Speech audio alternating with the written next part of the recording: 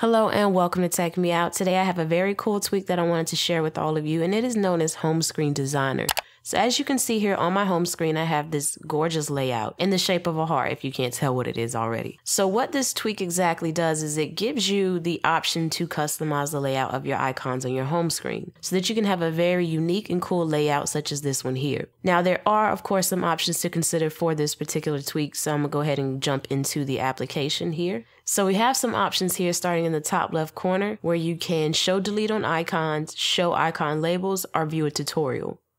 So I'm gonna hit cancel there. Now moving on to the top right corner, this is how you can add an icon to create a layout. So I'm just gonna press that plus symbol and you see now it gave me an icon. I can click the plus symbol again and get another icon and just keep pressing it until I get the icons on the screen and move them exactly where I want them to go. So this would be a layout that you can pretty much save and then your icons on your home screen would move themselves to the to these positions. Now moving down here to the bottom left, this is where you would save the layout when you have it the way you like. But say for instance, you started adding icons and you no longer like where this particular one is, you can hold your finger on it and pull up some more options. So from within this menu, you can choose to delete that particular icon, which will go ahead and remove it, or you can hold your finger down on it again. And let's get those options. You can swap its position with another icon. So say for instance, I want this particular one where the icon one is, so I can type that there hit swap and it moves its position. And then the last option, let me get that menu, you can set the icon position. So in selecting that, you pretty much get a more accurate position of where the icons are going to be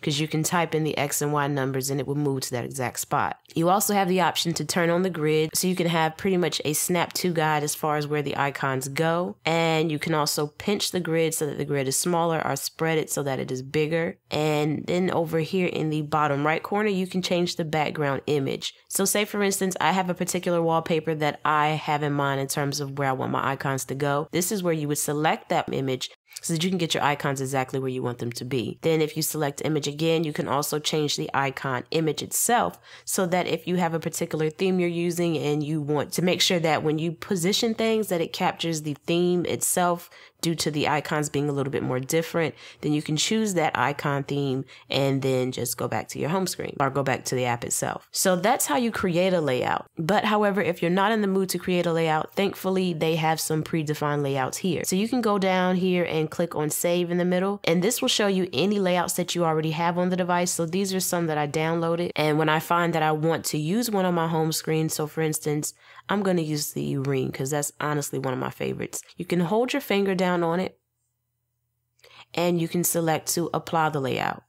Now, when you apply the layout, you can choose from having it on every homepage on your device, or you can get a little bit more specific and choose which exact pages you wanted on your device. So, say for instance, on my first page, I wanted the ring, and on the second page, I want something else. This is where you would do that. Now, something you're going to want to make sure that you do because originally this said heart I had to tap it to make sure that it had changed to the ring layout.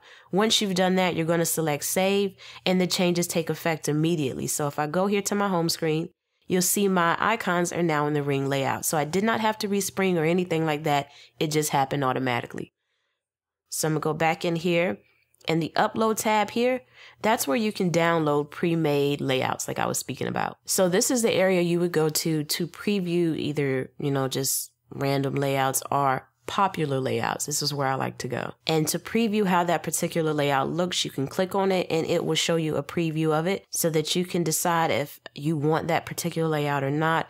When you do find one that you want, you just hold your finger down on it and then select download and it will appear under your saved layouts and it will also give you a notification to let you know it did save. In addition to having those options, you also have some from within settings itself. So you can go in there and just click on home screen designer and you can choose to turn home screen designer on or off, or you can enable placeholder icons, or you can just choose a layout that you already have from within here without ever opening the home screen designer application itself.